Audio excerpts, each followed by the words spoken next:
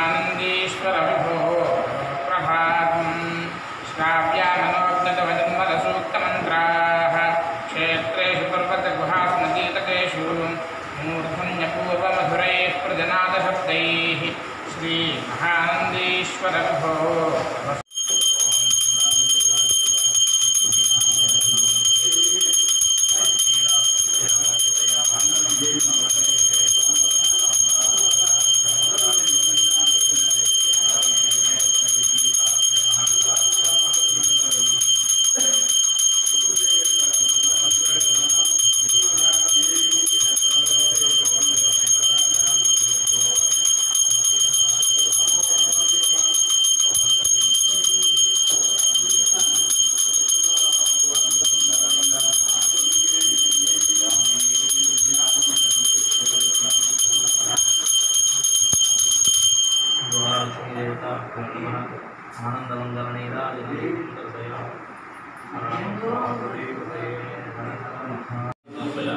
समर्पयामि आसन्दर्पयामि अस्थिरोगन्धिन्दर्पयामि पादयोगासमर्पयामि ॐ महाकाले नमः। ॐ महासरस्वते नमः। ॐ नन्दीश्वराय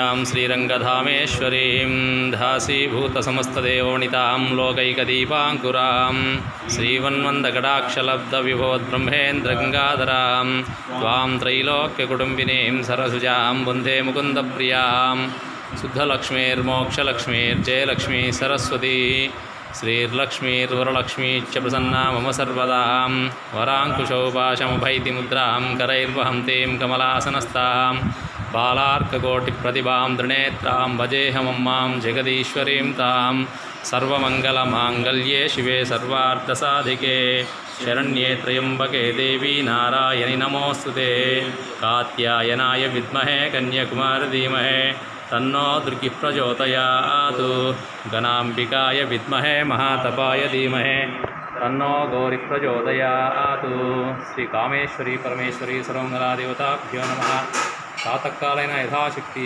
कुङ्कुमार्चनपूजां समर्पयामि